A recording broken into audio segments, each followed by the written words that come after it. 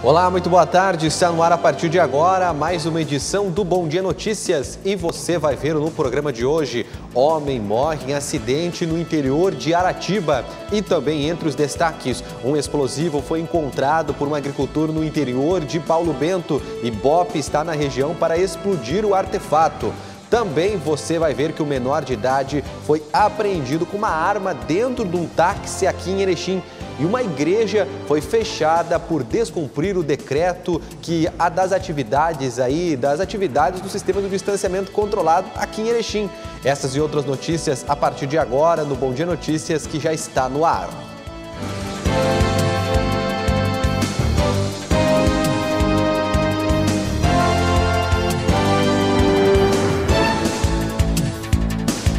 Boa tarde, meu amigo, boa tarde, minha amiga. Seja bem-vinda a mais um Bom Dia Notícias. Obrigado pelo carinho da sua audiência, você que nos acompanha de segunda a sexta-feira com as informações de Erechim e de toda a nossa região do Alto Uruguai.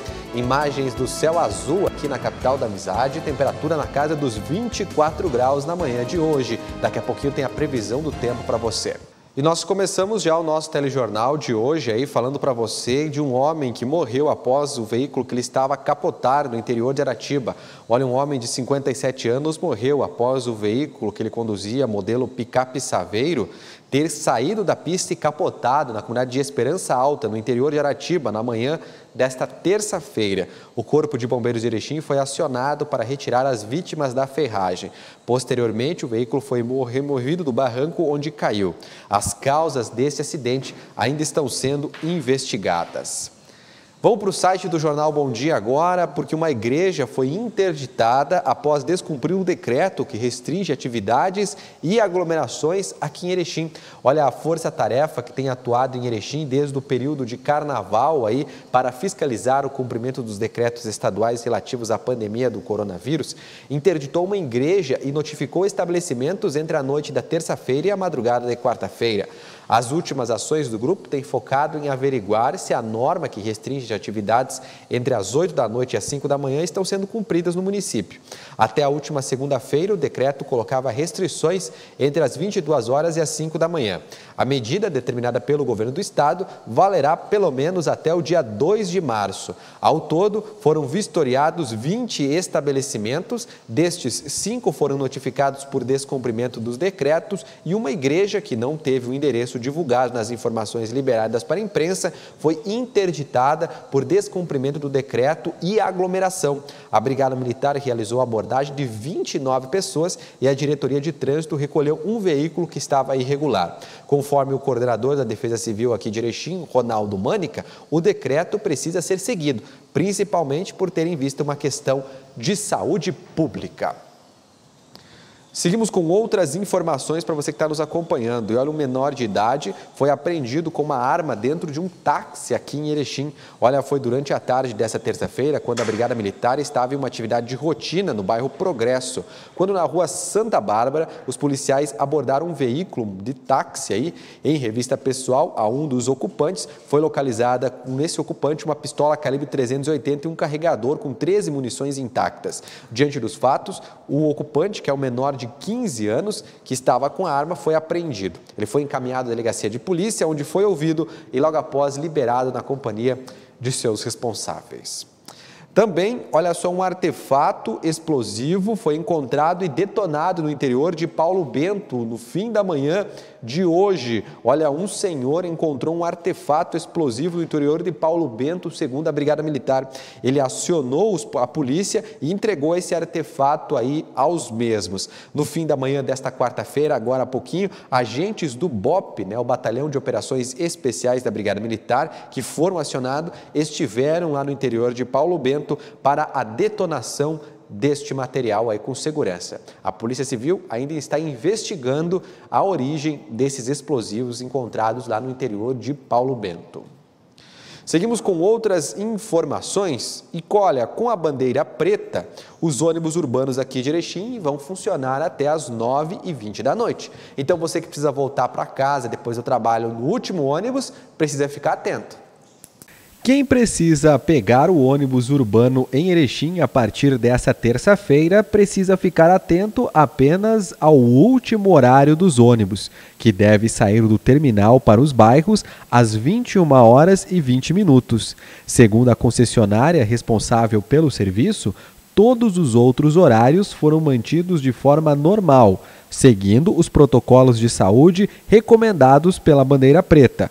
Apenas o último horário que sai do terminal foi antecipado para as 9h20 da noite. E o prefeito Paulo Alfredo Polis gravou um vídeo ontem falando sobre o retorno das aulas. Segundo o prefeito, as escolas públicas aqui de Erechim vão voltar junto com as escolas estaduais no dia 8 de março. A previsão de retorno era no dia 1 mas esse retorno foi adiado para o dia 8. Veja a fala do prefeito, que também destacou aí sobre a importância do aumento das atividades controladas, das 8 agora da noite às 5 da manhã. Veja. Olá, pessoal duas questões que também foi discutido e decidido uh, na reunião da AMAL. Tá? Um dos temas é que os 32 municípios, as escolas municipais, elas vão voltar, irão voltar a partir do dia 8 de março, junto com uh, as estaduais. Tá? Então, vão unificar as municipais e estaduais dia 8 de março. Tá? As escolas privadas, elas, vão, elas podem seguir pelo que o governador falou, a partir da aprovação do plano aí, já podem voltar. Agora, as municipais, as públicas é, e as estaduais voltam dia 8. Outra questão, lembrando da restrição, a restrição é, é, do decreto do governador, isso não é nosso, ele manteve a restrição das 20 horas até as 5 da manhã, tá? inclusive pediu o apoio e a fiscalização dos municípios para que na contrapartida uh, fosse efetivada a aprovação da cogestão. Então nós temos que deixar isso claro, né? A, a restrição das 20 horas às 5 da manhã permanece, tá bem? É isso que eu queria lembrar para vocês. E ontem pela manhã aconteceu a reunião com os prefeitos da Associação dos Municípios do Alto Uruguai Gaúcho, aqui na nossa na AMAL, né, através de uma forma online para falar aí sobre a cogestão da bandeira preta para a bandeira vermelha. Atenção, hein? Logo após essa conclusão dessa reunião, o prefeito aqui de Erechim, que é presidente da AMAL, gravou um vídeo para falar sobre como foi esse evento. Foi aprovado a cogestão e agora o documento está sendo feito, deve ser enviado ainda hoje para o governo do estado e a aprovação deve ocorrer até a próxima quinta-feira. Te liga. Bom dia. Finalizamos agora, há cinco minutos, a Assembleia Geral Extraordinária da MAL, né? com a presença de 32, ou seja, a totalidade dos prefeitos é, é, online, e nós deliberamos é, que vamos sim efetivar a cogestão. O que significa? Significa que cada município é, vai ter sim o seu plano de atuação é, efetivado, que pode transformar a bandeira preta em bandeira vermelha. Isso eh, é feito individualmente e é encaminhado para o Estado, é para o Estado homologar. Né? A decisão foi tomada por todos os prefeitos, né, dizendo o seguinte: nós precisamos preservar as vidas, sim, e isso está tá sendo levado em conta, mas também nós precisamos manter o nosso setor produtivo. É, eu acho que esta é a lógica de, de decisão que foi tomada pelos prefeitos. E também, na nossa parte aqui de Erechim, nós vamos encaminhar imediatamente para o Estado é, é, essa decisão, esse plano, para que tão logo o Estado homologue, nós é, consiga ter aí a, a bandeira reduzida de preta para vermelha. Tá? Esse é o recado. Um bom dia. E o prefeito de Getúlio Vargas, que é a segunda maior cidade aqui da nossa região, se manifestou na tarde de ontem sobre o decreto da bandeira preta e falou aí sobre o que pode ou o que não pode em uma coletiva de imprensa.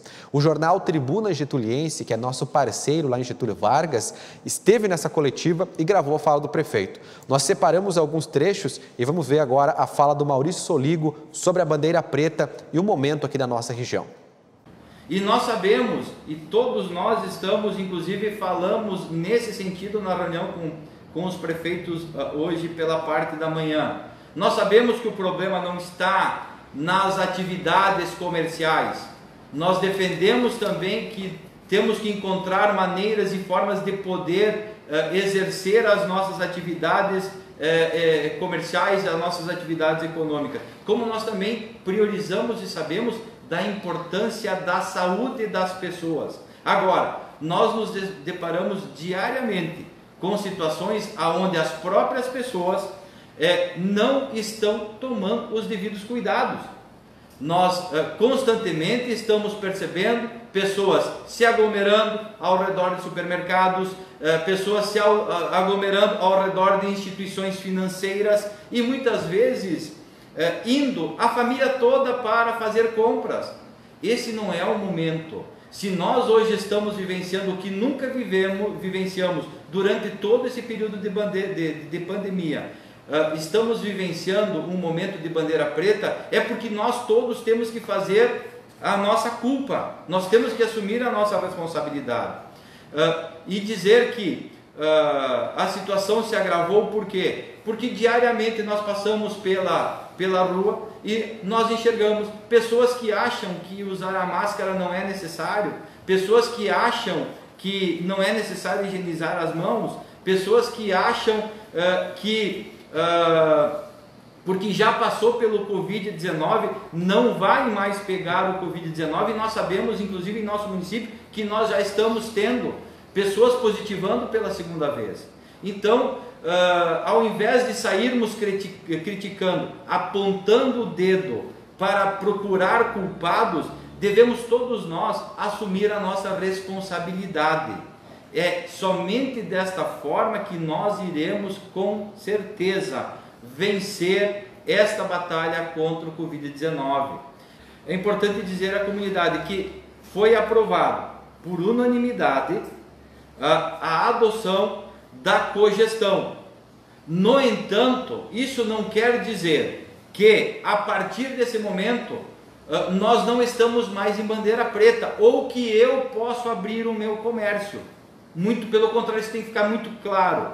Nós aprovamos a cogestão e a partir desse momento nós estamos com uma equipe na sede da AMAL trabalhando os protocolos para o plano de contingência, aonde será possível, a partir da adoção do município a este modelo de cogestão, flexibilizar algumas atividades. É, quero deixar muito claro isso. Embora foi aprovado por dois terços dos prefeitos a cogestão, o comércio não pode abrir ainda porque nós não temos as medidas que flexibilizam as atividades comerciais. Lembrando que o decreto do governo, publicado na data de ontem, está em vigor e o município, uh, todos os municípios da Era 16 continuam em bandeira preta. Com isso eu quero dizer que uma das perguntas que a gente mais uh, uh, recebeu até o momento academias, salões de beleza não podem funcionar, não podem atender de forma alguma pelo próprio decreto do governo do estado ah, sobre o modelo de bandeira preta. Nós teremos na cogestão e estaremos analisando os indicadores para aí sim, através do comitê regional, ver quais as atividades poderão ser flexibilizadas. Uh, nós temos uh, lojas que trabalham com uh, materiais eh, eletroeletrônicos, produtos, geladeiras, cadeiras. Estas lojas, infelizmente, dentro do modelo de distanciamento controlado do Estado do Rio Grande do Sul, no modelo de bandeira preta, também não podem trabalhar.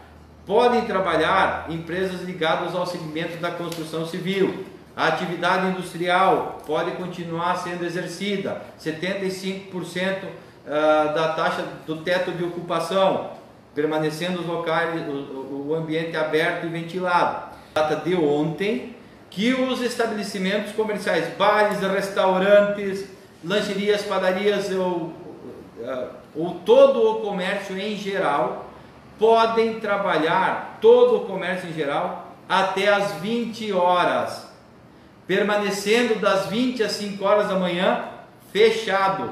Somente pode restaurantes, padarias, lancherias, estabelecimentos deste segmento atenderem posterior às 20 horas pelo modelo de teleentrega, não sendo possível posterior às 20 horas uh, fazer este atendimento uh, no local presencial. Volto a dizer, nós aprovamos a cogestão, mas nós ainda não possuímos uh, o que pode ou não pode ser flexibilizado. Portanto, até a divulgação, que nós esperamos que isso venha a acontecer num cenário positivo, nesta quinta-feira, quando nós então teremos a divulgação, a promulgação do nosso decreto, estabelecendo quais atividades serão flexibilizadas.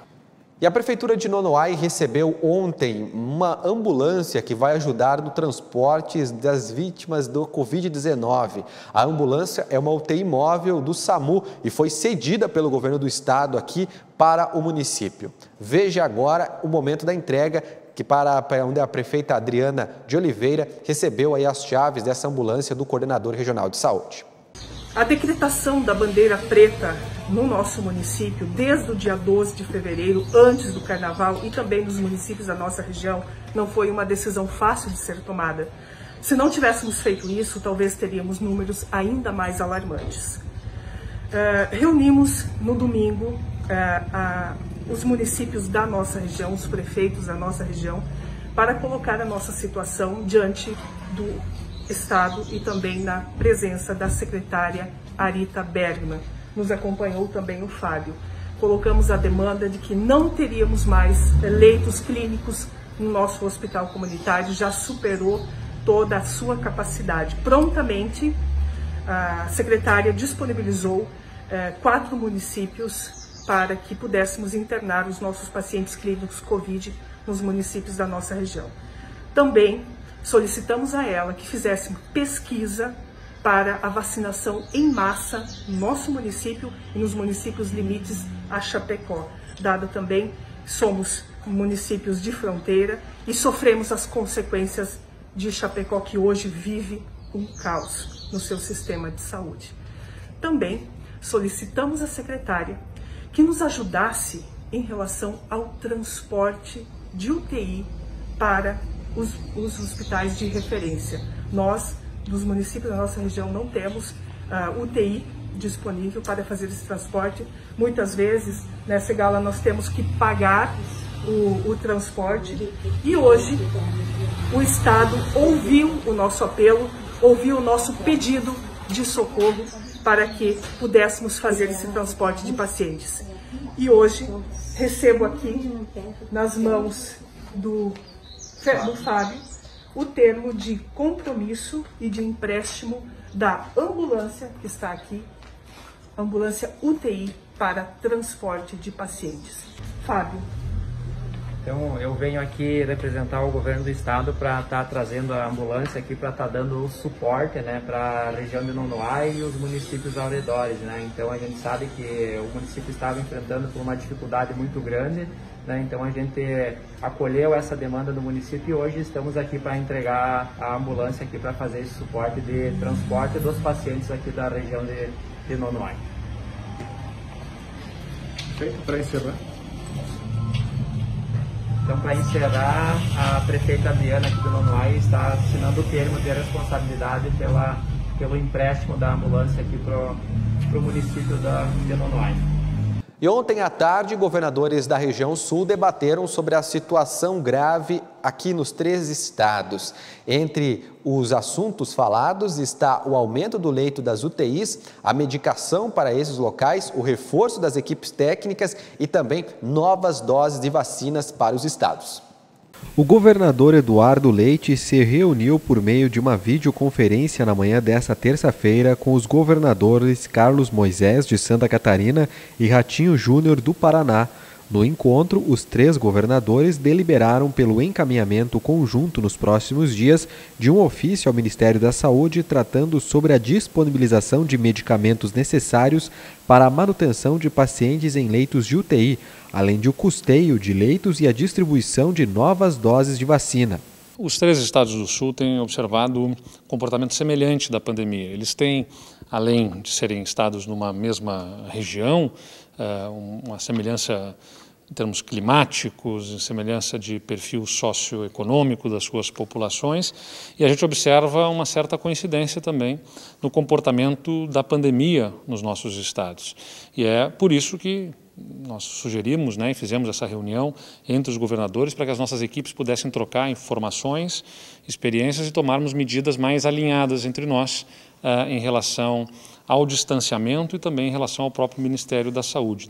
Na manhã dessa terça, a taxa de ocupação de leitos de UTI adulto no Rio Grande do Sul era de 86,4%.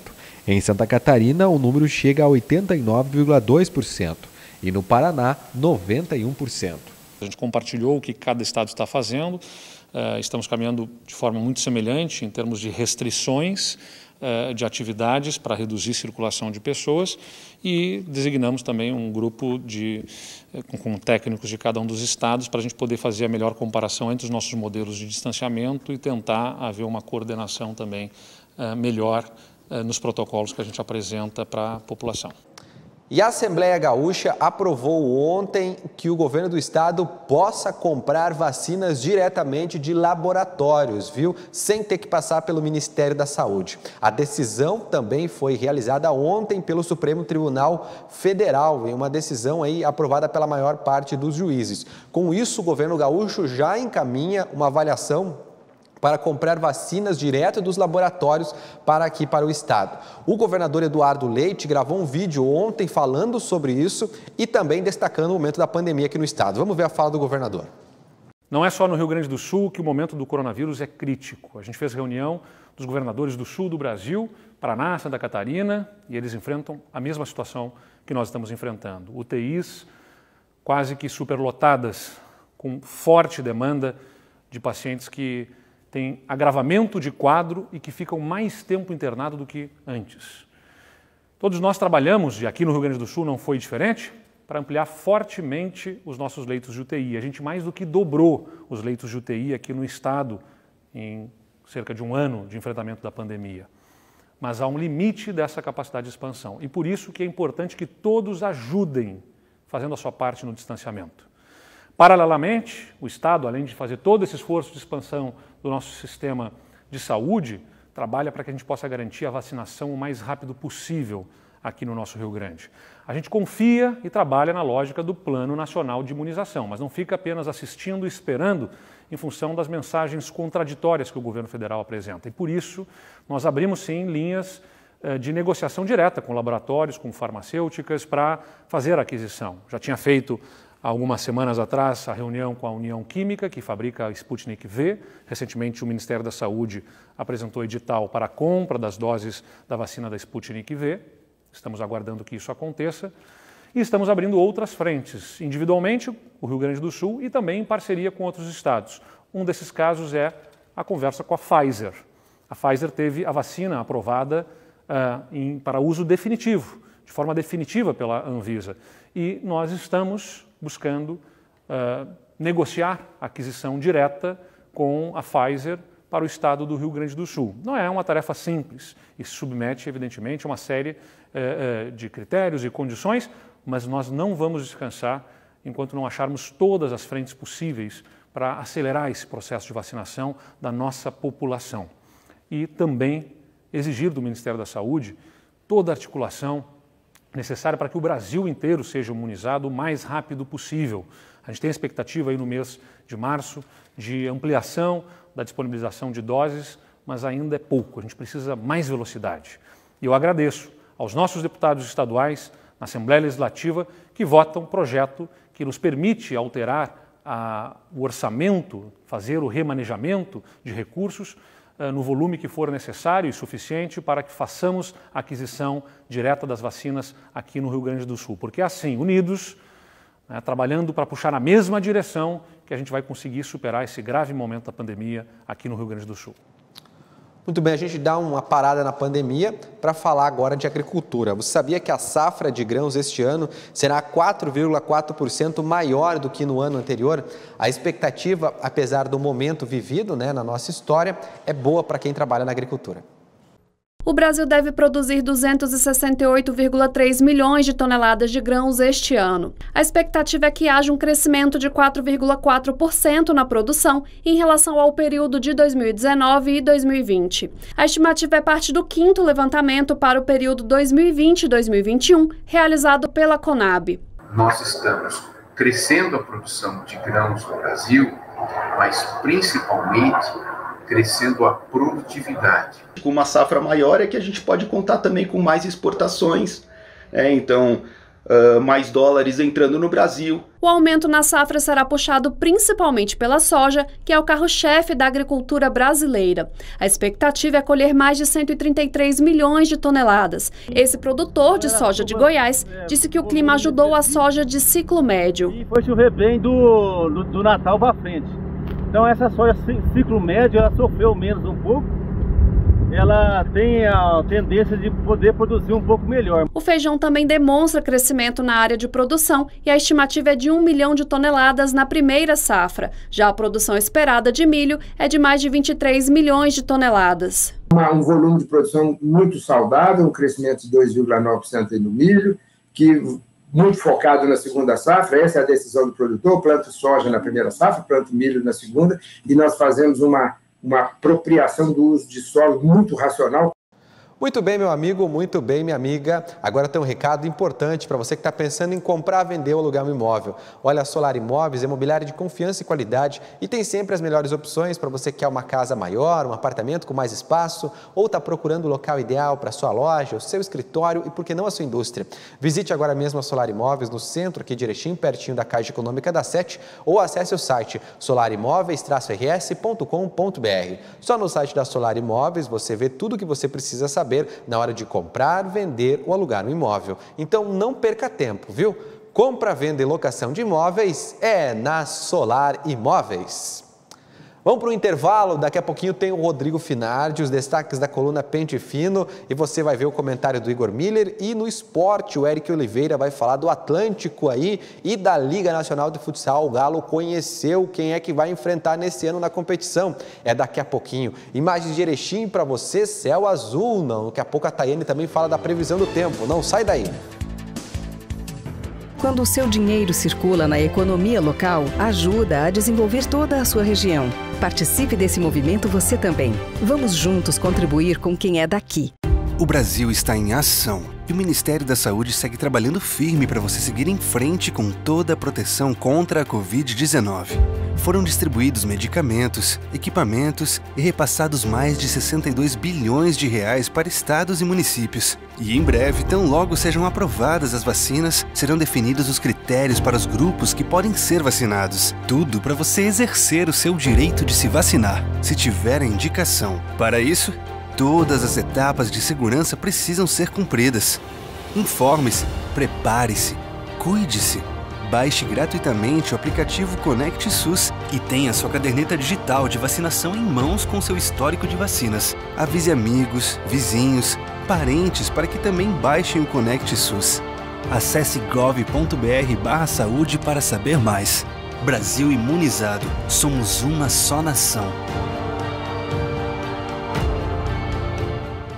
Alô, nosso povo caipira de Erechim, Alto Uruguai. Eu sou o Jordano, apresentador do programa 100% Caipira, e eu estou convidando você para assistir o nosso programa todos os sábados, às 8 da noite, aqui pela TV Bom Dia. Você é o nosso convidado. O povo admira, fizemos o que amamos, enquanto for vivo vamos ser 100% caipira.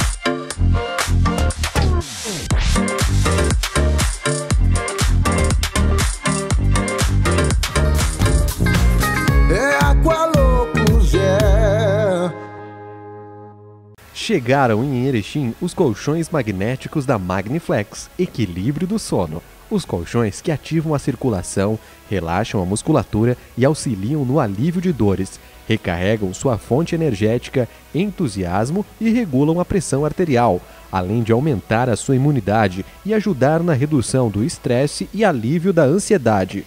Confira os preços de fábrica e as condições que cabem no seu bolso com parcelamento em até 12 vezes e 15 anos de garantia. Colchões magnéticos Magniflex. Venha nos visitar. Rua São Paulo 169, em frente ao posto BR. Oi, gente, eu estou aqui nessa agência linda do Cicred para te contar uma novidade. Estamos comemorando 40 anos, 40 anos de conquistas e resultados. E a Cicred Unistados preparou um ano cheio de ações, especialmente para você, associado. E eu estou aqui com o presidente e os diretores da Cicred Unistados e nós vamos falar sobre esse ano incrível da cooperativa. Elisandro, como é que foi essa jornada de 40 anos?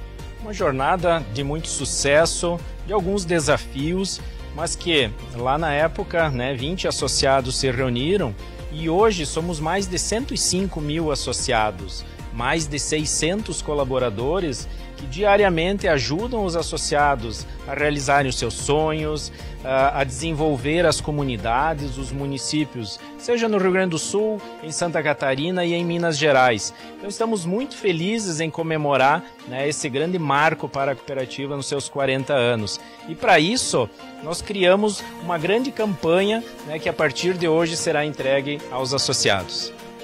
Jaime, como será a campanha? De que forma o associado poderá participar? Então, a campanha será uma campanha de capitalização, onde todos os associados da cooperativa poderão participar e a cada 100 reais que o associado aplica em cota capital, ele recebe o número da sorte e ele concorre ao sorteio. Serão três sorteios durante o ano, então são 53 prêmios de 2 mil reais, 53 prêmios de 10 mil reais e mais quatro prêmios de 100 mil reais. Então todos os sorteios serão através da Loteria Federal e todos os associados poderão participar. Adelar, além da campanha, o que mais os associados podem aguardar aí em comemoração aos 40 anos da Sicredi Unistados? Estaremos realizando muitas ações, né, principalmente nas nossas agências, na nossa sede.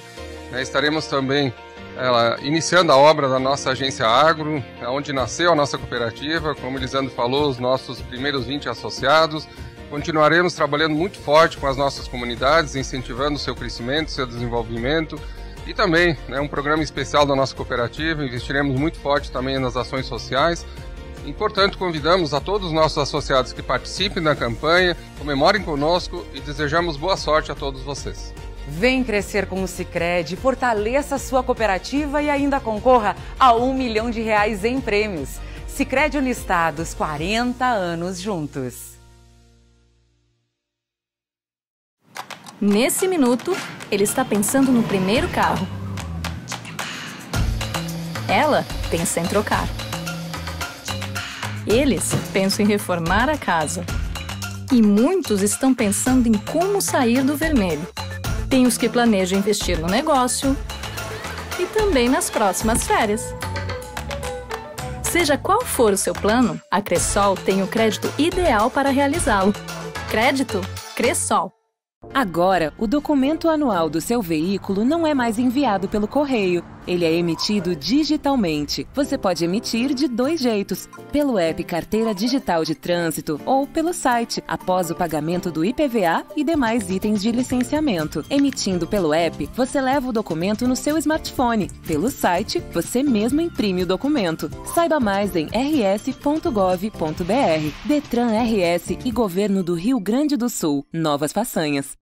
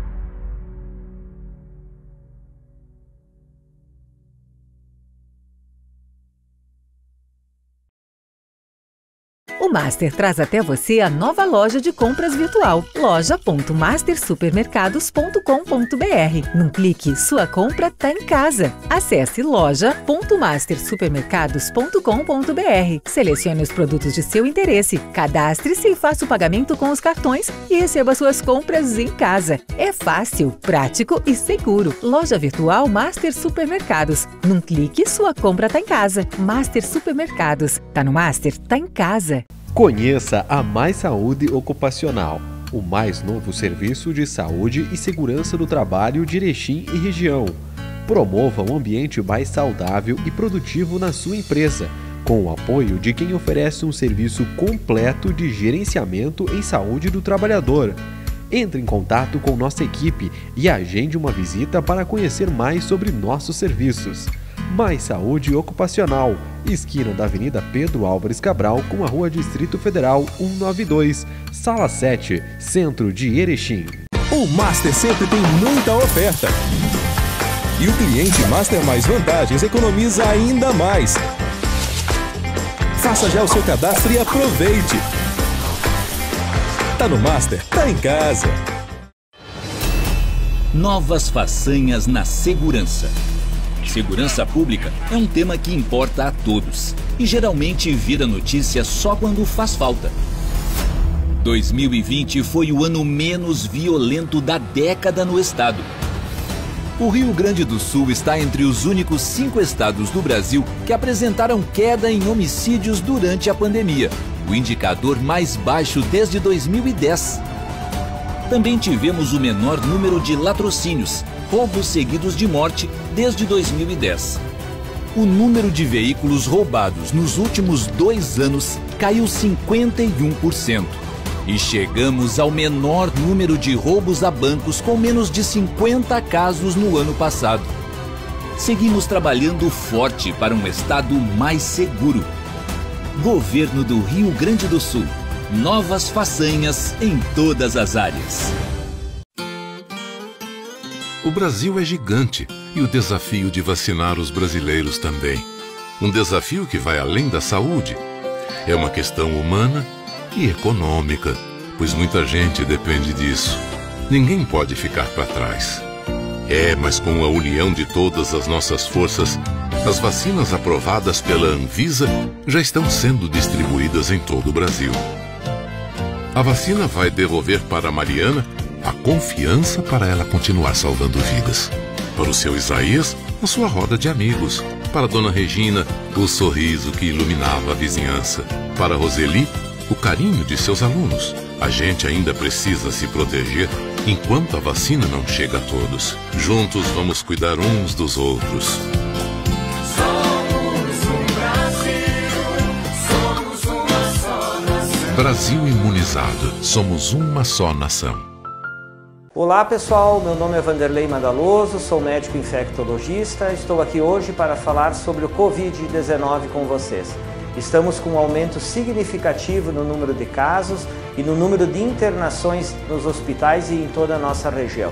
Venho pedir para vocês manterem as medidas de prevenção. O uso da máscara sempre que você sair de casa, usar o álcool gel nas mãos, manter o distanciamento entre as pessoas e evitar aglomerações. Conto com vocês. Covid mata. Não seja a próxima vítima. O cenário da pandemia do Covid-19 está se agravando, com o um aumento expressivo de casos ativos e a elevação das taxas de ocupação dos leitos hospitalares. O comportamento da sociedade reflete diretamente nos indicadores da Covid-19. Se for possível, fique em casa. Se tiver que sair, adote com rigor as medidas de prevenção. Evite locais com aglomeração. A prevenção e o cuidado são as nossas únicas armas. Cuide-se, cuide de quem você ama.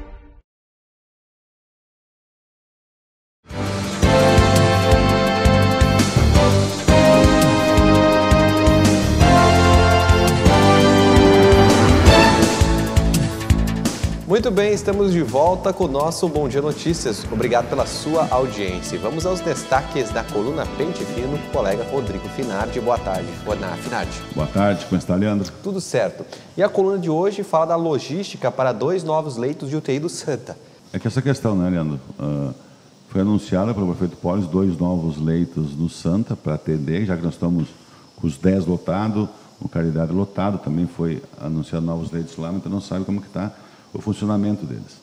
Ontem eu conversei com o, com o diretor executivo do Santa, que hoje a informação é em cima disso. Então, tem gente do interior que não está vindo para cá em função de falta de leito, tem vários casos na região, e esse especificamente, eu digo assim, ó, eu perguntei para ele, Rafael, como é que está a questão desde os remédios até o oxigênio? Está bem abastecido o hospital?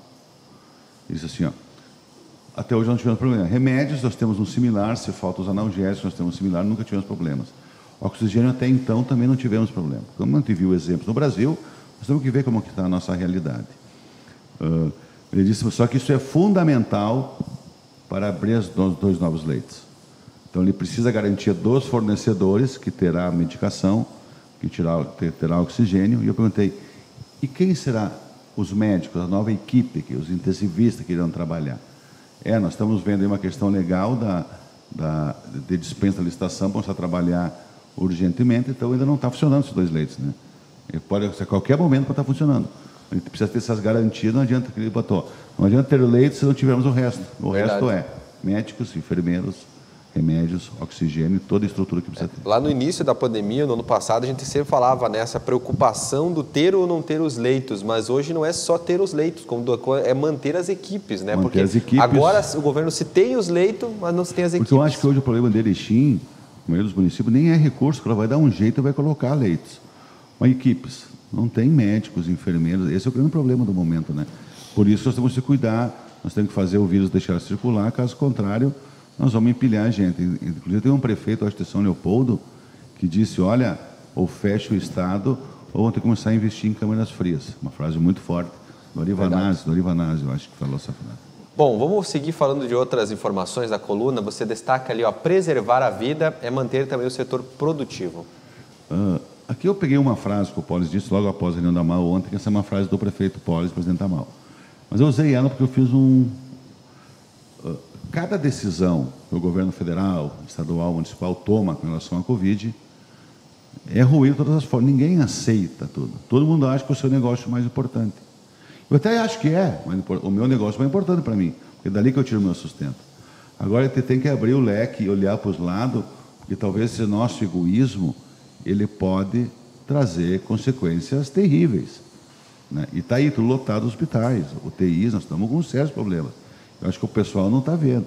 Nós estamos em bandeira preta, a gente não sentiu a cidade em bandeira preta. Então as pessoas não estão dando tanto valor enquanto não tiver alguém do seu lado, da sua família, passar por isso, tem que enterrar seus entes queridos, né? Então é só um alerta, não estou dizendo que está certo ou errado, não sei concordar. O nosso negócio, cada um tem o seu negócio mais importante, mas nós temos que olhar para o lado. Nós temos que pensar se o meu cuidado ajuda o próximo. Caso contrário, vamos aí mesmo ter que buscar as câmeras frias futuramente. Verdade. Rodrigo, você sempre também acompanha o número das diárias e os gastos aí com as diárias desabam na pandemia. Essa sempre, é uma coisa positiva. sempre né? irei acompanhar, porque diárias são recursos públicos gerados pelos nossos impostos. Nós temos que saber o que, que nossos governantes estão fazendo com esses recursos. E tu vai buscar dinheiro onde hoje? Com diária, quando tu vai fazer alguma coisa. Mas ninguém está trabalhando assim, recebendo pessoa muito pouco. Então não justifica a diária, salvo alguns casos. E hoje, com toda a tecnologia que, com a pandemia, acelerou alguns processos tecnológicos. Né? Hoje, ontem, foi feita a reunião com os 32 prefeitos da MAL, cada um no seu município. E é normal, como se fosse presencial. Não muda o resultado da coisa. Verdade. Então, hoje tu tem. Então, futuramente, quando passar a pandemia, por que eu estou cuidando aqui? Ó? Futuramente, quando passar a pandemia, a tecnologia vai continuar. Então, talvez as viagens não vão ser precisadas. Tem que ter. Brasília, nós temos um funcionário pago pelo município de Erechim agora. E tem que correr lá.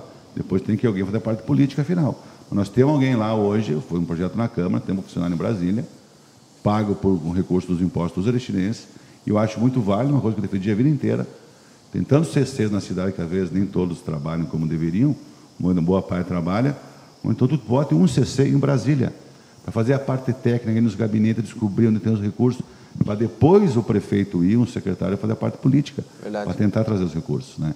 Então o que eu fiz assim, ó, eu já fiz no, no ano passado, já vinha desabando bastante no passado da pandemia, e esse ano está bem por dentro. Ó. A Prefeitura de Erechim gastou 3 mil em dois meses. Nada, né, praticamente. A Câmara de Vereadores, nem um real. Nada, nada de diário. Nem um real. O, o, a GER, 1.565, são diretores, na Corsã e coisa e tal. O Instituto de Erechinense, o IEP, nem um real. lançado, mas uma pessoa solicitou duas diárias, 21 e 23 de fevereiro, hoje é dia 24, não dia ter lançado um sistema, a prestação de contas dela. Está o pedido, mas não tem os valores ainda. Então é só para registro e bimestralmente, cada dois meses, eu vou acompanhar esse crescimento. Vamos ter que justificar muito bem diário nesse momento de pandemia. É, e também que fique essa coisa, né, para o futuro aí, que apesar de toda é. essa pandemia, a gente aprendeu que lá no futuro dá para se economizar usando a tecnologia, né, dá para é. economizar o dinheiro público. Vamos para o outro lado aqui, dá, sobe para mim mais um pouquinho aqui, sobe, aí, aqui, ó, esse aqui, ó. O horário de atendimento legislativo mudou, aqui tem informação de utilidade pública na tua coluna. Não, que a questão é o seguinte, na sexta-feira, adotou um sistema inédito, eles iam trabalhar das 7 às 7 e meia às 5, sem fechar meio-dia, a Câmara de Vereadores. Aí os seus parlamentares iam revezar dentro do seu horário de trabalho. Então ia ter, para quem quisesse procurar era no meio-dia, poderia ir. Ia ter menos funcionários no decorrer do dia, mas ia, ia ser bem legal. Um dia depois, sim, o último teve que mudar né, essa questão em função da bandeira preta. Já notou que sempre quem primeiro ajeita os horários de atendimento são o setor público? São bem rápidos nisso. E agora vai atender das sete e meia às... Não, agora vai ser das sete e meia a uma e meia da tarde. Bom, Frente Parlamentar Pró Cultura. Ah, esse é legal, é uma, uma proposição do vereador André Gil Costa, quando ele... Porque talvez o setor de cultura é um dos setores mais... Já tinham várias matérias que sobre isso, mais afetado com a pandemia. Não tem espetáculos, não tem os futebol, tudo envolve essa questão que da secretaria, tu não tem nada que envolva isso. Como não tem aula, tem as, as empresinhas de teatro para dar nas escolas, não consegue. Então, é uma classe bastante afetada, acho que das mais afetadas. Então, essa frente parlamentar para a cultura é para quê? Para buscar, discutir o problema e tentar buscar soluções para essa classe estar desassistida na pandemia. E muito a barragem. Bom, muito, bom, muito boa ideia. Muito bem. E olha, aqui outro assunto que você também acompanha, eu lembro ano passado muitas matérias sobre esse tema, a barragem no nível normal e o edital segue suspenso. Não, eu acho que é importante porque nós estamos em pleno verão. Entende? Então, normalmente é esse período, até março, abril, que ela seca por causa da evaporação. Nós tivemos um mês de janeiro muito chuvoso, isso garantiu a reposição dos mananciais. Ontem ela estava no zero a zero, então quase passando em cima da, então, isso nos garante futuramente, quando baixar as temperaturas, tu diminui o consumo e a evaporação é menor. Então, ainda não vai ter problema de água, pelo menos até o inverno. Se não chover aqui, começar por primavera, nós podemos ter lá para frente. E eu aproveitei esse gancho, isso ali ontem, essa foto, aproveitei esse gancho porque está aí vários meses parado, quantos anos que nós temos que ver esse edital de água e esgoto. Até porque, infelizmente, nós tivemos várias brigas políticas num problema que é da cidade. Nós não podemos mais ter o Iristinense, mesmo tendo o cravo, que nos ajudou e muito. É uma obra que não é para frente, ela não é finita. Mas nós teríamos problema de racionamento, porque eu fiz cobertura de três racionamentos Erechim. Coisa é mais terrível as pessoas não terem água em casa. Tomando banho em, em açude. Não, eu vi cada coisa nessas minhas andanças aí em 2005, 2012, 2008. Não tem ideia. A cascata do Nazário, eu acho que ninguém fez uma foto disso. Vocês conhecem a cascata do Nazário? Sim. Ela sem água, só com, com paredão de pedra. Olha só. Eu tenho uma foto disso. Para ter uma ideia do que foi aquele momento. Então eu me preocupo, é um edital que está suspenso, que tem que ser relançado, e vamos ver como vai chegar no final das contas. E já precisamos também buscar uma saída, pensando no futuro, não só amanhã para o Rio Cravo.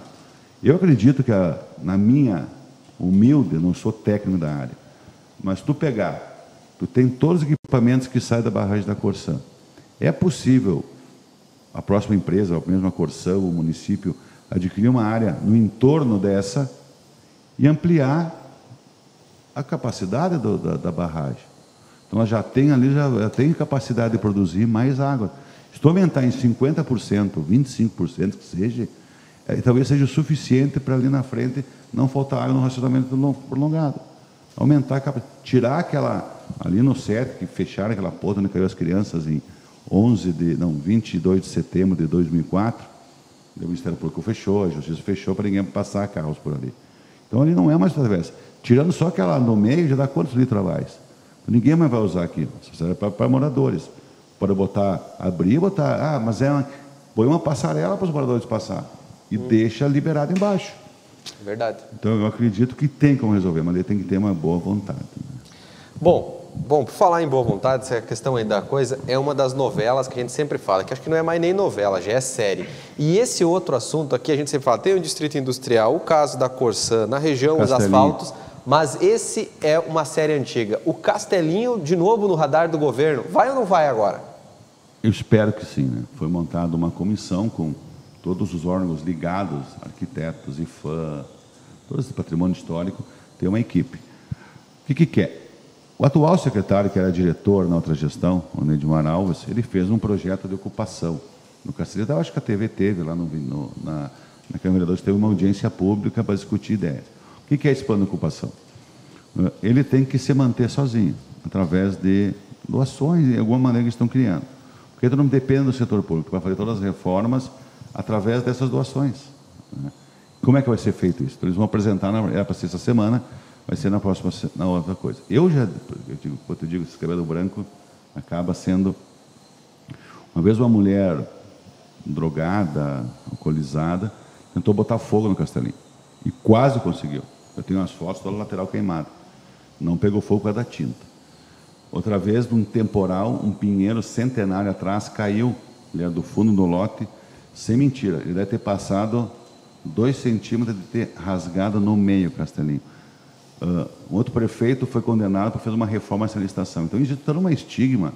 Esse prédio mais antigo da de Madeira, um valor histórico terrível, todas as ruas traçadas, principalmente iniciais do centro da cidade, partiu dali através da Comissão de Terras, de Torres Gonçalves, de Severiano de Almeida. Né? Então, a gente precisa cuidar. Eu vejo as pessoas falando, derruba e faz um prédio, faz um centro administrativo. É, Cara, é rasgar dá, nossa história. Isso eu não posso aceitar, mas cada um com a sua opinião, eu não vou discutir. Mas eu acho um, um município que não cuida da sua história vai ter problema no futuro. Eu não tenho dúvida nenhuma. Verdade. Tomara que não seja mais um balão de ensaio, tomara que saia do papel e tomara que a população abrace essa ideia. Que se um dia ele não estiver ali, não vai faltar gente para botar dedo na mulher de um monte de pessoas dizendo que estou culpado. Tem como ajeitar, mas não pode esperar cair, né? Que nem a catedral, né? Muita gente hoje reclama e não está lá.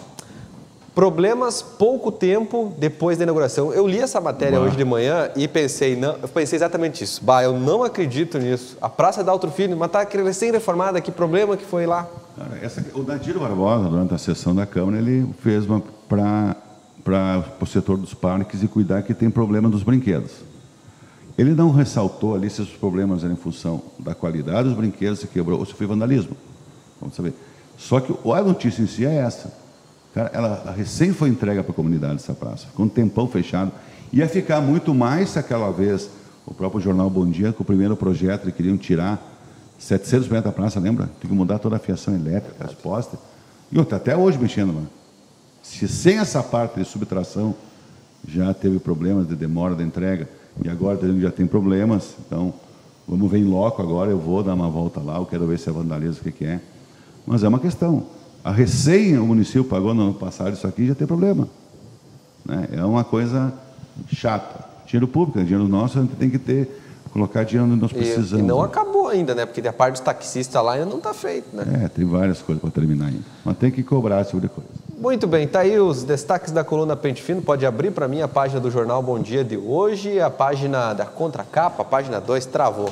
Bom, mas e amanhã, Finardi?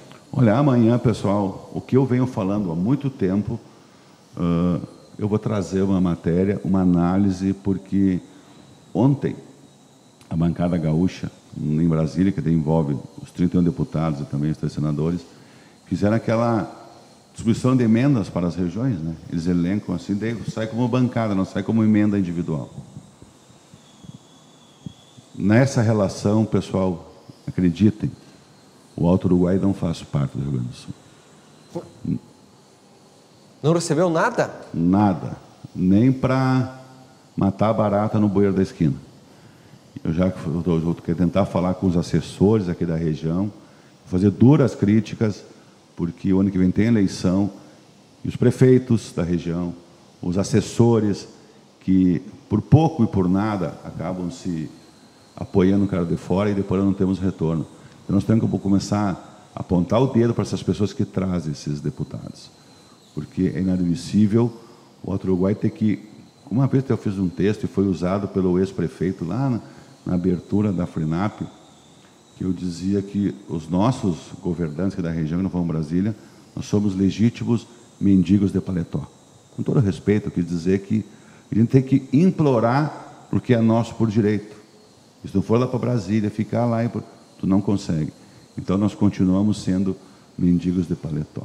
Umas coisas inacreditáveis. Obrigado, Finade. Até a próxima. Até a próxima. Vamos agora ao comentário do Igor Miller. Te liga porque opinião você também vê aqui.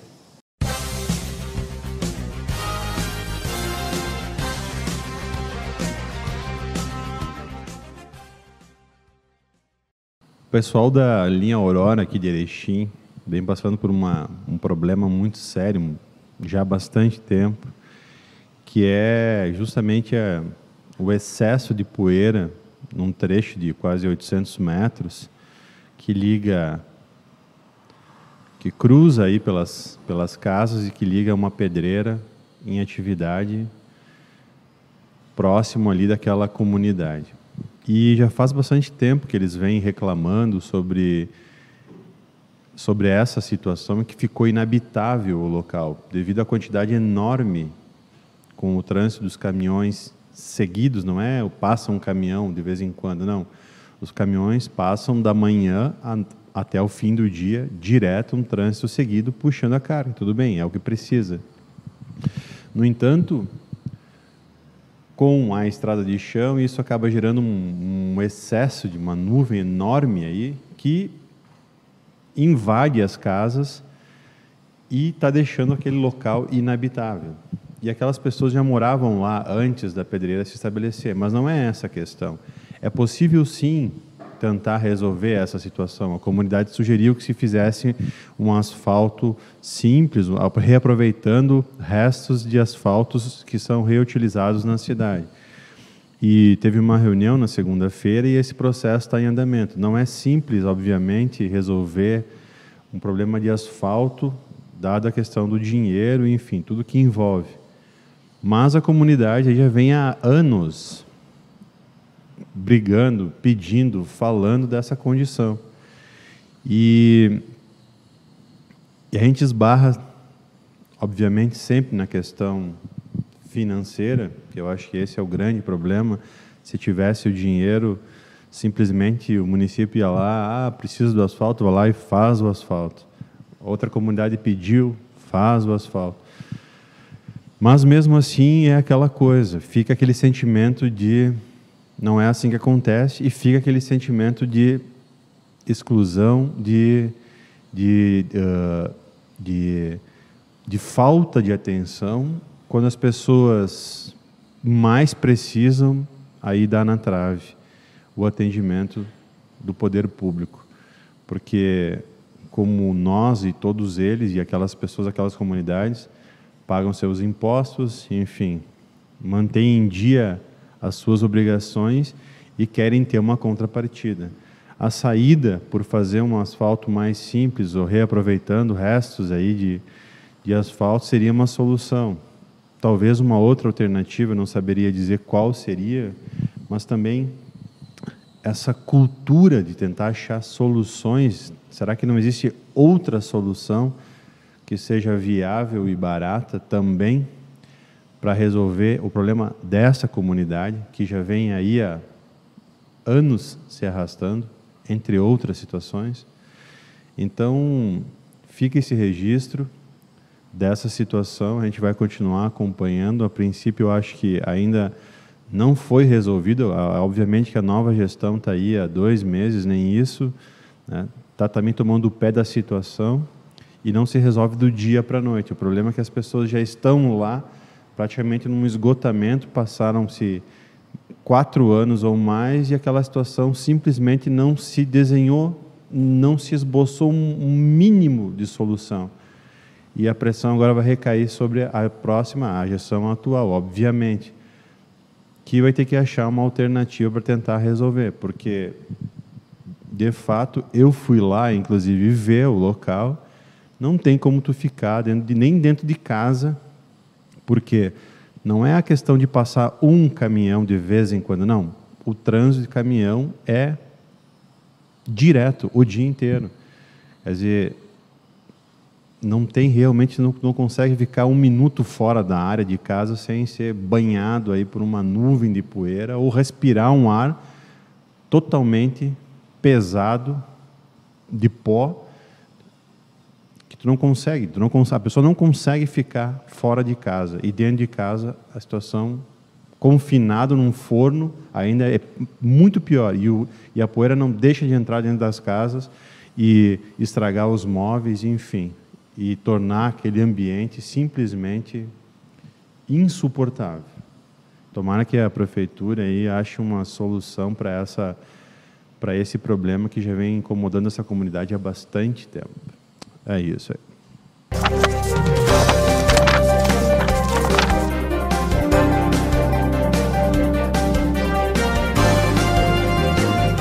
Vamos agora saber quais são os destaques do jornal impresso digital do Bom Dia, edição desta quarta-feira, que traz na capa a situação da Associação dos Municípios do Alto Uruguai Gaúcho, que aprovou a cogestão durante a pandemia.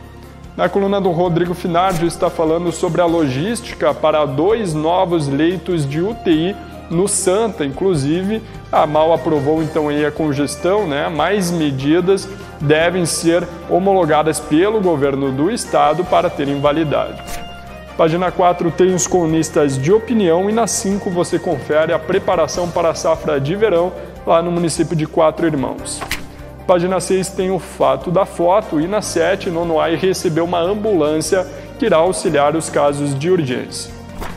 Página 8, o Olhos de do Salos Locke, a coluna, traz destaque para os setores prejudicados pela pandemia que terão a linha de crédito municipal. E na página 9, a equipe do CRAS, do CRAS alerta sobre os cuidados com o bem-estar e também o, emo, o emocional das crianças lá em Viadutos. Tem os classificados do Bom Dia, você também conferiu o caderno de variedades. E na segurança, um homem foi morto a facadas e outro ficou ferido a tiros aqui na cidade. Contracapa do Bom Dia traz destaque para o Atlântico, que conheceu seu grupo na Liga Nacional de Futsal 2021. Outras informações podem ser acessadas no site do Jornal Bom Dia, www.jornalbomdia.com.br. Vamos falar de esporte agora com Eric Oliveira, que está aqui com a gente. Boa tarde, Eric. Tudo bem? Tudo bem, Leandro. Para quem está nos assistindo também, é um prazer está aqui mais uma vez com notícia boa. Isso bem. Vamos falar do Atlântico hoje? Vamos falar do Atlântico. E a principal notícia é que na última quinta-feira nós tivemos a definição, principal campeonato, principal campeonato que o Atlântico vai disputar, a Liga Nacional, teve a definição dos grupos e com novidade. Mais uma vez, o que, se, o que aconteceu em 2020 vai acontecer em 2021, o mesmo formato. O que até então acontecia de uma forma diferente que eu, inclusive, falei com, com, com, com o Natan, o principal destaque é esse. 2020 segue os mesmos moldes da temporada 2021 e os grupos já estão definidos, Leandro. Muito bem, vamos ver uma reportagem agora que fala aí dos grupos e já já o Eric volta para explicar melhor para a gente a situação. A Liga Nacional de Futsal divulgou nesta terça-feira os grupos dos clubes que disputarão a competição em 2021 e o Atlântico de Erechim ficou no grupo B, junto com Joinville, Carlos Barbosa, Cascavel, Açoeva, Marreco e o Juventude do Mato Grosso do Sul. O Atlântico foi o vice-campeão da competição em 2005 e 2018 e jogará pela vigésima vez a LNF. A previsão da bola voltar a rolar é no fim de março. Nessa temporada, todos os times jogarão contra todos dentro dos grupos em jogos de ida e volta cinco clubes se classificam para os playoffs da competição, além do melhor sexto dos três grupos. Muito bem, Eric. Daí, o que você achou do grupo do Atlântico na Liga Nacional? É, dessa vez, como a, a diferença de 2020 é que 2020, por conta da pandemia, a organização dos grupos foi ordenada por regiões para ficar um pouco mais próximo na hora da, da realização das partidas. Em 2021, o que aconteceu? As equipes foram divididas conforme a classificação final do ano anterior. Então, meio que caiu na sorte, eh, não o que aconteceu na última temporada, por região. Mas, por incrível que pareça, vamos descer aqui, porque o grupo do Atlântico ficou com todos os gaúchos. O grupo B, que é o grupo do Atlântico, tem Atlântico, Açoeva e Carlos Barbosa. Essa talvez seja, seja a, a principal destaque de, eh, desse grupo com Joinville, uma equipe muito poderosa, a, a equipe a, catarinense Joinville. É uma das equipes que vai brigar para liderar esse grupo. Carlos Barbosa, o Cascavel, o Atlântico, a Soeva, o Marreco, de Francisco Beltrão, Blumenau e o Juventude. O Juventude é, é um, mais, mais uma, um destaque que tem nessa, nessa temporada. O Juventude é uma equipe que está agora vai brigar pela Liga Nacional. São duas equipes, na última temporada foram 21, 21 equipes, dessa vez são 23, e o Juventude é uma delas. Está estreando o Juventude. E é, e é, o Juventude do Mato Grosso do Sul, né? Porque aqui a gente tem o Juventude de Caxias, mas não é o de Caxias, não, não né? É, não é no Caxias. passado, o Juventude de Caxias já tinha times de futsal, né? Nos anos 90, mas não é esse aí. Não, não é esse. Inclusive, é o único representante de, uh, de Mato Grosso do Sul e o Marechal Rondão. São essas duas novidades. 23 equipes vão disputar a Liga Nacional desse ano, divididas em três grupos, com os cinco melhores classificados que passam para a próxima fase. O Atlântico vai ter que disputar com essas oito equipes, estar entre os cinco. E mais uma vez, como aconteceu sempre na Liga Nacional, para a próxima fase, para a fase dos playoffs, o, o, o, critério de desempate é a classificação, ou seja, o Atlântico precisa estar bem classificado. Lembrando que na última temporada o Atlântico foi eliminado porque um, um dos grandes pontos foi porque teve que jogar o segundo jogo fora de casa. E o segundo jogo é jogado na casa de quem está melhor classificado. O Atlântico vai ter dificuldade nesse grupo, principalmente por conta da rivalidade. Carlos Barbosa e a Soeva. Jogar em Carlos Barbosa é muito difícil e no Parque do Chimarrão também. Muito bem. O Atlântico é um dos favoritos para a competição, sem dúvida, mas além dele, dá para apontar algum outro time que desse destacar nessa liga? Ah, com certeza. O Corinthians e, e, o Magnus, que inclusive caíram no mesmo grupo, que estão no grupo A, são duas equipes que sempre entram com favoritismo. O Atlântico até é, é, um mês que nós temos, em março já começa a Liga Nacional. Eu não sei se já, já temos, por parte do Atlântico, uma prioridade. Eu não sei se a Liga Nacional é prioridade, mas é aquilo que, que inclusive, o Cladir Dariva sempre fala. O Atlântico, independente da competição, sempre entra para vencer. Não sei se vai ser a prioridade nesse ano, mas o Atlântico, sem dúvida alguma, é um dos favoritos. Magnus, o Pato também é um dos favoritos. E, e detalhe para o Marechal Rondon, que entrou nesse ano conseguiu a vaga novamente e está passando por um, um, uma fase de reestruturação. Também é uma equipe que vai apresentar uh, muitas coisas interessantes nesse ano. O Marechal, que está no grupo C. Nosso torcedor ficar ligado do Atlântico nesse ano tem Liga Nacional de Futsal. Tem alguma outra competição que o time vai Liga disputar? Gaúcha. A principal, por isso que eu falo, Liga Nacional a principal e a Liga Gaúcha. E a Taça Brasil vai ocorrer? Não tem previsão. A Taça Brasil, sim. Inclusive, já para o próximo mês, porque no ano passado ela Não foi teve, estendida né? por conta da pandemia. Logo, logo, já com novidades da, da Taça Brasil, com certeza, Leandro. Show de bola. Obrigado pelas informações, Eric. Até mais. Até mais, Leandro. Um abraço para todo mundo. Gente, agora nós vamos para a previsão do tempo. Vamos ver como é que fica o clima no dia de hoje.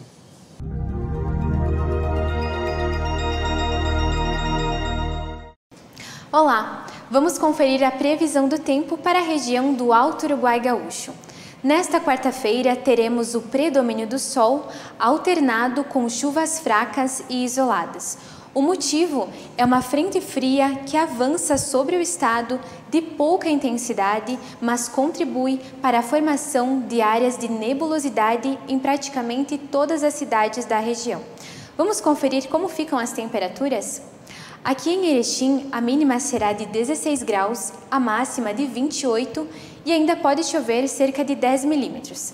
A umidade relativa do ar fica em torno de 47%. No município de Carlos Gomes, a mínima será de 19 graus e a máxima de 32. E no município de Entre Rios do Sul, a mínima será de 21 graus e a máxima de 28. Para mais informações sobre a previsão do tempo, você pode acessar o site do Bom Dia. E no Bom Dia Entrevista de ontem, a Taíne do Carmo conversou com a secretária de administração do governo Paulo Polis aqui de Erechim. Ela falou um pouco sobre a secretaria, os desafios da pasta e os objetivos. Vamos rever aí essa entrevista. Começando mais um Bom Dia Entrevista e hoje a nossa conversa é com a secretária de administração Isabel Ribeiro que já está aqui conosco para falar sobre as demandas da secretaria e também para você conhecer quem é a nossa secretária, como que é a atuação dela aqui em Erechim, no nosso município. Então, secretária, seja muito bem-vinda aqui no Bom Dia Entrevista, é um prazer lhe receber. Olá, Tayane, o prazer é todo meu de estar aqui, poder esclarecer o que faz a Secretaria de Administração, me apresentar Secretária, então, para nós iniciarmos, a senhora já atuava antes como servidora pública, né, há cerca de 18 anos, uhum. e destes, como eh, nós comentávamos, 10 então foram na Secretaria de Administração. Eu queria que a senhora contasse um pouco desse trabalho e como é que foi para te receber esse cargo agora neste ano. Sim, eu entrei então na prefeitura como servidora pública em 2002, tá? Comecei na Secretaria da Fazenda Fiquei quatro anos na Secretaria da Fazenda e depois já fui encaminhada para a Secretaria da Administração, onde trabalhei por 10 anos, tá? Inclusive em 2016 eu fui secretária adjunta já. E depois desses últimos quatro anos eu estive na, de diretora administrativa no IEP, tá? Mas eu sou uh, advogada, sou formada em Direito Público e assim foi um prazer enorme receber esse convite do, do, do Polis né, e, do, e do Flávio, ah, um pouco por causa da experiência e tal, e confiança que eles tinham em mim, então é um orgulho fazer parte dessa secretaria. Secretária, tem uma outra secretaria também agora, que na verdade até conversava esses dias com o secretário, com o Marmentini, uhum. que é a Secretaria Geral de Governo, né? Uhum. Que dá, a impressão que ela é bem parecida com a, a, a Secretaria de Administração, uhum. mas são funções diferentes, né? Eu Isso. queria que a senhora explicasse o que, que faz a, essa Secretaria de Administração. A Secretaria Geral do Governo, então, ela é, é ligada ao gabinete do prefeito, então ele atende todas as demandas, é como se fosse um auxílio ao gabinete do prefeito em todas as demandas, né? Então é um fio outro ali, é todas as ajudas para o gabinete do prefeito.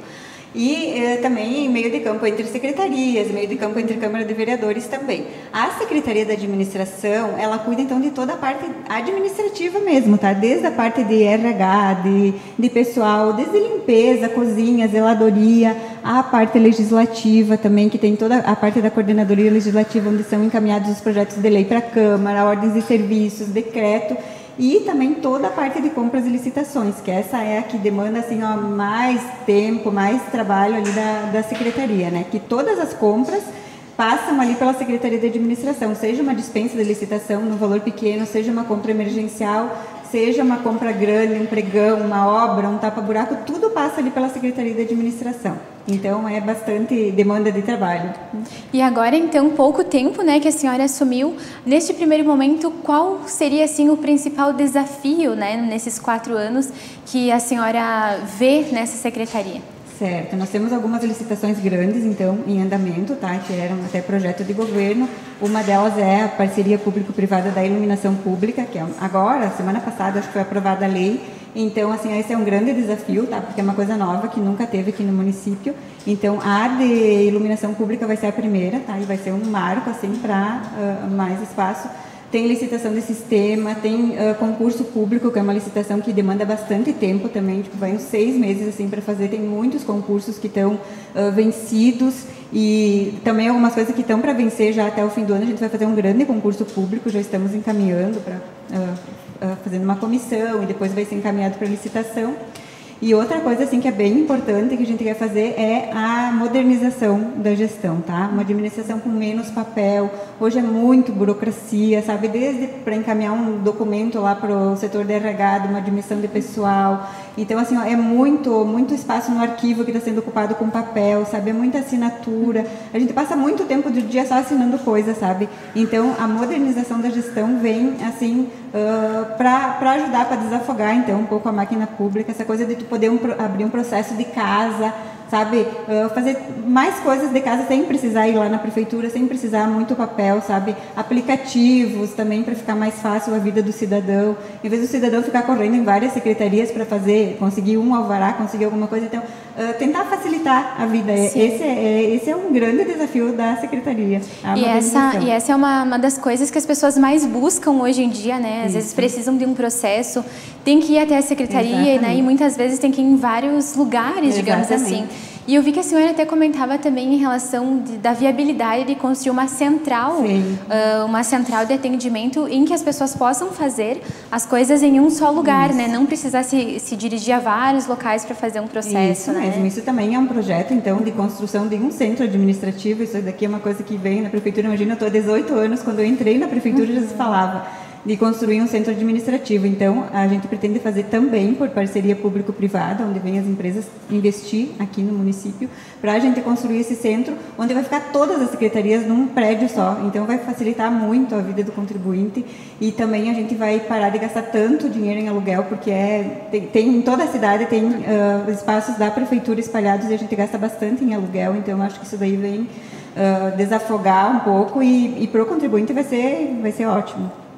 Sim, a gente fala muito dessa questão das parcerias público-privadas uhum. para realizar. Uhum. É, essa é uma ideia assim do governo, assim investir bastante nessas parcerias para a construção das coisas, porque a gente já falou com vários secretários, eles sempre citam Sim. essa questão uhum. das parcerias, né? Uhum. É, além da iluminação pública, é, quais são os outros projetos que tem para fazer por meio dessas parcerias uhum. público-privadas? É, foi aprovada a lei agora, então elas têm alguns eixos, né? A iluminação pública e o centro administrativo seriam os primeiros, mas assim, muitas coisas vão poder ser feitas por ali. É alguma coisa grandiosa, assim, ah, na parte de esgoto, sanitário, essa parte uh, lixo, educação, saúde, vamos dizer, ah, vai, vai construir um hospital. Uh, não a parte de pessoal, mas a construção de um hospital pode ser viabilizada via parceria público-privada. Então é um projeto bem inovador, tá? Até algumas uh, cidades do Brasil já estão fazendo, mas aqui, então, vai ser pioneiro aqui nesse governo para construção. Então, o primeiro vai ser a da iluminação pública, que ela vai servir como um projeto piloto, né, para depois andar, mas acho que vai dar muito certo. Essa questão secretária, até eu, a gente comentava esses dias aqui nos Bom Dias Entrevistas que o, o projeto de saneamento de água e esgoto ele ainda está parado né, pelo tribunal. Uhum, uhum. É, já tem algum andamento disso? Tá no, será que ainda está parado? Está no mesmo lugar? Tá, Como que está? Ele está parado porque ele está parado via judicial. Até eu sei que faz uns 15 dias que o prefeito foi a Porto Alegre uhum. conversar com o governador sobre esse processo para ver se podia fazer alguma coisa, mas ele ainda está parado e não tenho novidades sobre ele, tá? Uhum. Ele é, é, é, via judicial.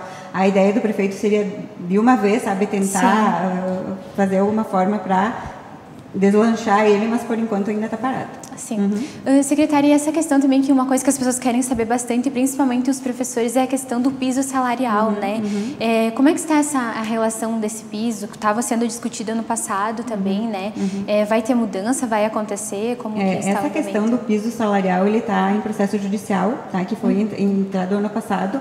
Então foi definido esse reajuste ali do piso pelo governo federal, uhum. só que o prefeito anterior então entendeu que não ia dar ano passado por causa da, da, da, da pandemia e lei 173 que veda aumento com folha de pagamento.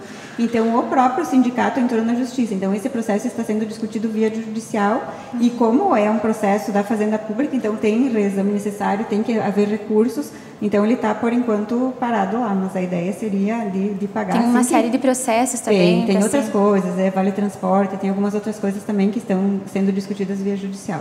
Sim, antes a senhora também comentou sobre o concurso, né, uhum. que vai sair este ano. Uhum. A gente já tem assim para quais funções que vai sair ou ainda está sendo discutido como que está é, As funções ainda não. Eu sei que tem vários concursos uhum. uh, uh, para cargos assim que estão já vencidos desde antes do ano passado. Tem uns que venceram no ano passado, tem uns que vão vencer até o fim do ano. Então, assim, ó, eu acho que vai ter um grande concurso, já foi levantada então essa demanda com o setor da RH o diretor do RH está fazendo um levantamento de todos os cargos que vai precisar concurso até o fim desse ano e a gente vai fazer então um grande concurso. Então vai ter para todas as áreas. Bastante vagas, bastante então. Bastante vagas, até porque daí a lei 173 que veda o aumento da despesa com folha, ela vai até o fim desse ano, até 31 de dezembro. Então, a partir do ano que vem, o que for realmente necessário pode ser contratado, né? Então a gente já quer deixar esse concurso pronto para quando chegar o ano que vem a gente conseguir nomear, a gente já ter tudo, porque o processo seletivo do concurso ele é bastante demorado, Sim. né? Então agora vai ser montada uma comissão para ver todos os cargos, ver o que, precisa de prova prática, o que, precisa de prova de títulos. E agora com a pandemia também provavelmente é, vai ter alterações. Né? Licitação né? também, que é uma coisa bem demorada, depois contratação da empresa. Então até homologar o concurso ele vai uns seis meses, assim, olha, falando por baixo. Pode ser que demore até mais. Então a ideia é eh, até metade do ano eh, conseguir fazer todo esse levantamento para fazer licitação e para o ano que vem está o concurso prontinho já para poder chamar. Né? Perfeito, então. Uhum. Secretária, já chegando aqui ao final da nossa entrevista, nós agradecemos a sua presença aqui, uhum. todos os esclarecimentos e questões bem pontuais, né, que é interessante a população saber aqui ser discutida aqui uhum. nessa entrevista. Muito obrigada. Eu que agradeço a oportunidade e estarei sempre à disposição. Muito bem. Olha, hoje, 8 da noite, tem mais Bom Dia entrevista para você aqui na tela da TV Bom Dia, viu? A Taína do Carmo conversa com o vereador Renan Socol. Não perca, é a partir das 8 da noite, iniciando uma série de entrevistas exclusivas com os vereadores aí que assumem né, esse novo mandato e também foram reeleitos a partir de hoje. 8 da noite, bom dia entrevista para você. E o Bom Dia Notícias de hoje está ficando por aqui. Obrigado pela sua audiência, pela sua companhia. Você pode rever esses e outros programas da TV Bom Dia no site www.tvbomdia.com, nos nossos canais do YouTube, no Facebook, no Instagram e onde mais você quiser. Um abraço especial para você. Até amanhã. Tchau, tchau.